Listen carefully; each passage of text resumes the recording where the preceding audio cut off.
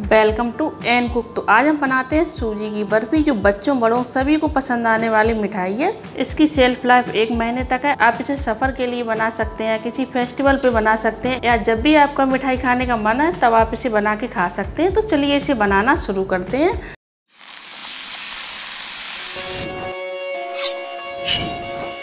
तो सूजी की बर्फ़ी बनाने के लिए ले लेते हैं एक कप सूजी, आधा कप देसी घी एक चौथाई cup milk powder, one third cup चीनी, तीन चम्मच बारीक कटा हुआ पिस्ता, करीब तीन चम्मच काजू बारीक कटा हुआ 10 से 12 केसर के धागे, एक चम्मच इलायची पाउडर। तो चलिए आगे का प्रोसेस करते हैं। तो सबसे पहले एक ट्रे लेंगे और इसे घी से ग्रीस कर लेते हैं। ये बहुत स्वादिष्ट और बहुत कम समय में बनने वाली मिठाई है। तो एक बार आप ज़रूर ट्राई करें। तो ट्रे को हमने ग्रीस कर लिया है। अब हम एक कढ़ाई को गर्म होने के लिए रखेंगे। तो कढ़ाई तो हमारी हल्की गर्म हो चुकी है। अब जो हमने आधा कप घी लिया है, वो इसमें डाल देते हैं। घी तो हमारा मेल्ट हो चुका है। अब जो हमने एक कप सूजी ली है, वो इसमें डाल देंगे और लाइट ब्राउन होने तक इसे भून लेंगे। गैस का फ्लेम लो टू मीडियम रखेंगे ताकि सूजी हमारी तले में जले नहीं। इसे लगातार चलाते रहेंगे। तो सूजी हमारी लाइट ब्राउन हो चुकी है। इसमें खुशबू भी काफ़ी प्यारी आ रही है। तो अब हम इसे हटा देते हैं। तो अब हम रख देते हैं एक पैन और इसमें डालेंगे वन थर्ड कप चीनी, यानी कि एक कप से थोड़ा कम। वन थर्ड कप इसमें पानी डालेंगे, यानी कि एक कप से थोड़ा कम। अब हम इसकी चाशनी बनाकर तैयार करेंगे।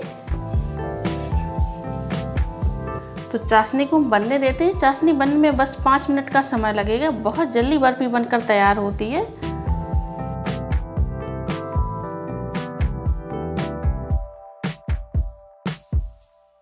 तो चाशनी को हम चेक कर लेते हैं। हमें बस एक तार की चाशनी चाहिए। इसे हमें ज़्यादा थिक नहीं करना है।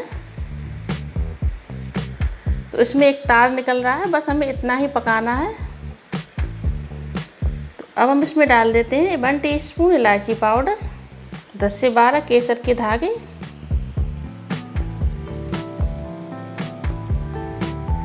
अब जो हमने सूजी को रोस्ट करके रखा है, उसे मिक्स कर देंगे।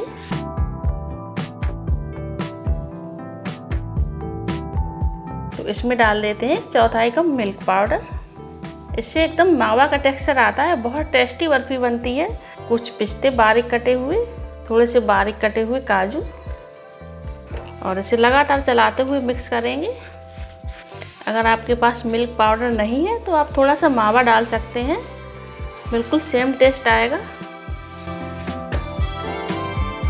तो हमें तब तक चलाना है, जब तक ये किनारे से निकलने ना लगे इस तरीके से। थोड़ा सा और पका लेंगे। इसको हम थोड़ा सा चेक करेंगे। इसमें थोड़ा सा लेके इसमें पानी में डाल देते हैं। अब हम इसे चेक करेंगे। अभी ये थोड़ा सा लूज लग रहा है। बस दो मिनट और पकाते हैं।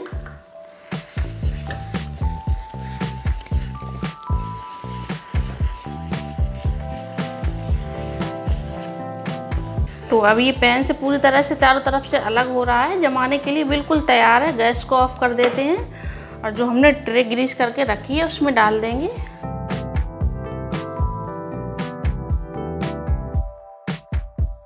और इसको सेट कर देते हैं। चारों तरफ़ एक साथ फैला देते हैं।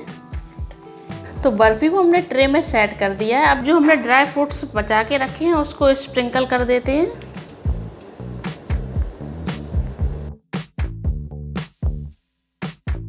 तो सूजी की बर्फ़ी बहुत जल्दी जमने लगती है। तो इसमें हम कट के निशान लगा देते हैं। तो इसे हमें बहुत जल्दी काटना होता है, क्योंकि अगर ये ज़्यादा टाइट हो जाती है तो काटने में थोड़ी सी दिक्कत आती है। तो हमारी बहुत स्वादिष्ट सूजी की बर्फ़ी बनकर तैयार है। बिल्कुल मावे जैसा इसका टेक्सचर आया है। तो आप इसे ज़रूर ट्राई करें। तो आप इसे बनाइए, खाइए और अपने ही इस चैनल को लाइक शेयर व सब्सक्राइब ज़रूर कीजिए। तो मिलते हैं किसी स्वादिष्ट रेसिपी के साथ। तब तक के लिए बाय बाय